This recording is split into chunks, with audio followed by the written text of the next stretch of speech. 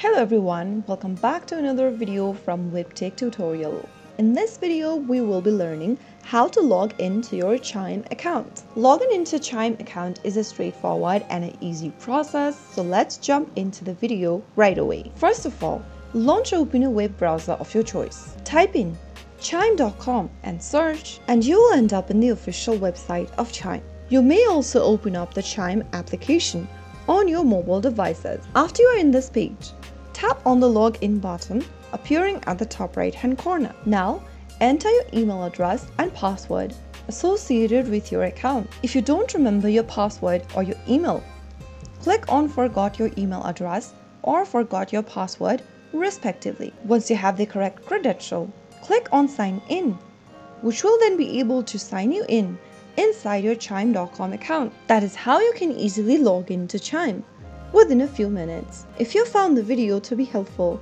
go ahead and give us a thumbs up. Don't forget to subscribe to the channel by hitting the subscribe button.